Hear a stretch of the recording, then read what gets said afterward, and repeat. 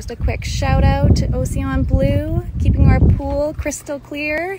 Aside from a little bit of dirt on the bottom, our vacuum broke, so we still need to get a new one and vacuum that up.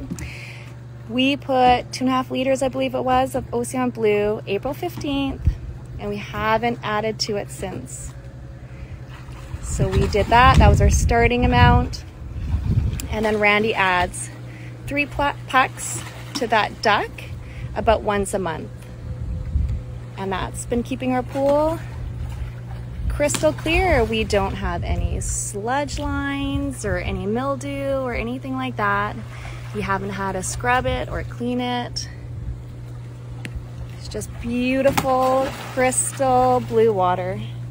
Again, it just needs a good vacuum. We'll have to pick another one of those up. So thank you to our friends over at Ocion for keeping our pool so beautiful and crystal clear. We love your product.